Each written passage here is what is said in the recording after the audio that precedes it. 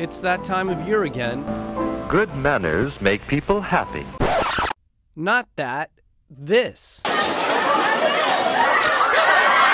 Bargain hunters were out in force at this Levittown Best Buy looking for some door busting deals. Each one of them had their own reason for coming. I love the cold. I'm a certifiable polar bear. I'm just out here just to be cold and freeze my butt off pretty much for television. I was out here at 4 o'clock and I'm getting a watch for my son because he wanted it and it's worth it. All right, we're here today because uh, we all hate our families and we don't care about the people who work retail.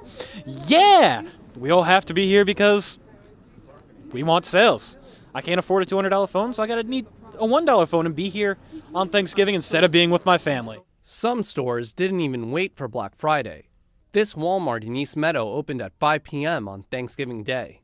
Yes, I do want to be home, but times are changing and, uh, you know, you have to change with the times. Uh, why did you decide to stand outside online on this cold? They had lovely deals, that's why. What did you get? I got a TV, How much was it? $3.99. And are you looking forward to going home for a nice Thanksgiving meal? Yes, I am. I already had a meal, but I'm going for a second meal now.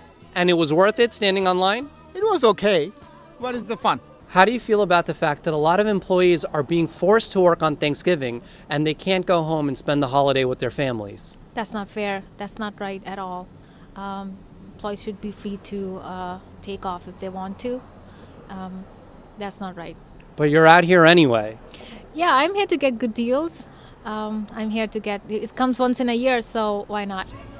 According to the Washington Post, people are planning to spend more this year than they did last. That finding comes as a lower unemployment rate and lower gas prices seem to be boosting consumer spending and confidence. From the Walmart parking lot in East Meadow, Youseph Rasheed, Brooklyn College News.